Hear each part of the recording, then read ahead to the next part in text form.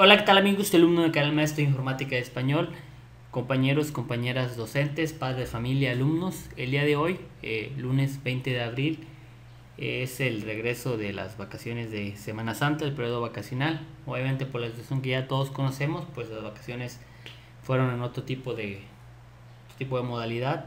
Así como el regreso a clases es ahora en modalidad virtual, desde lo de aprende en casa, que toda esta semana que pasó se le estuvo dando eh, mayor énfasis. Asimismo también en este caso en la última semana de, clases antes del periodo vacacional de Semana Santa, que, que, fueron estas dos últimas semanas, pues también se le empezó a dar difusión.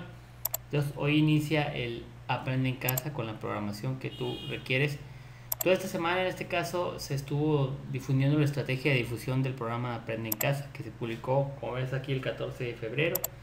Yo tengo aquí este documento, si quieres te lo puedo, se los puedo proporcionar. Esto les sirve mucho a los docentes para que vean en general cómo se va a trabajar en esta modalidad, porque es cierto que se van a utilizar en este caso herramientas como canales ya sea de televisión o de internet o de eh, YouTube incluso, redes sociales para difundir en este caso eh, contenidos, pero es una estrategia más completa, mejor diseñada por parte de nuestro secretario de Educación. Así que pues aquí vienen en este caso los objetivos que les van a servir eh, para que puedan saber bien cómo se va a llevar a cabo esta estrategia. No es el simple hecho de mandarles trabajo a los alumnos y que te lo contesten. Tiene otro, otro eh, cuestión inmersa más, más de fondo, más compleja, más completa, pero yo creo que en sí va, va a servir para que tanto alumnos como docentes estemos ya también en este rol de la educación, de la educación a distancia, para poder también dominar pues muchas herramientas tecnológicas que se ocupan hoy en día y que muchos docentes siempre son renuentes a utilizarlas.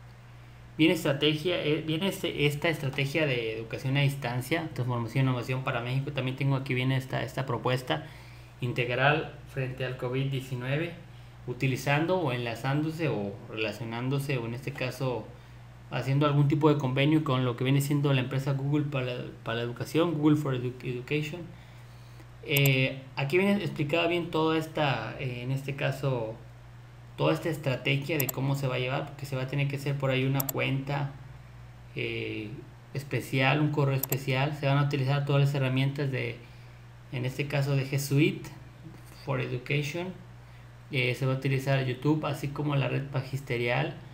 es una estrategia completa, les digo, se va a tener que hacer por ahí un correo especial, se va a tener una, una capacitación por ahí aquí viene todo el, cronograma de cómo se va a hacer esa capacitación obligatoria para los docentes que la van a poder tomar esta semana ya cuando salga bien eh, toda la en este caso la información oficial en esta pues yo creo que probablemente hoy o mañana se las hago saber para que se tomen también esta capacitación para docentes, directores, supervisores.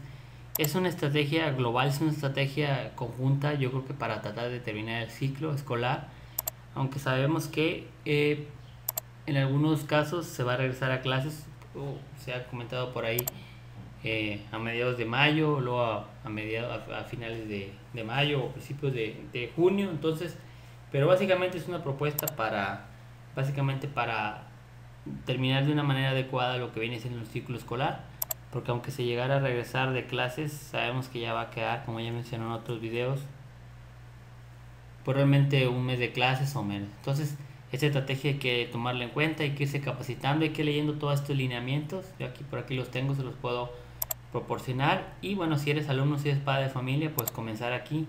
Aquí viene en este caso toda la, la información. Yo también ya subí un video de cómo directamente ver los canales educativos, cómo ver los cronogramas. Aquí viene en esta página que también te voy a dejar aquí pues aquí vienen actividades para educación inicial, para preescolar, para primaria y para secundaria, que dice toda la educación básica elemental en México. Entonces, para que pues lo vayan checando y se vayan capacitando. Seguimos en contacto. De la de rato voy a subir más videos referentes, sobre todo enfocados a lo que son los docentes o los futuros docentes, para que vean cómo va a estar esa estrategia de parte de la Secretaría de Educación Pública Federal.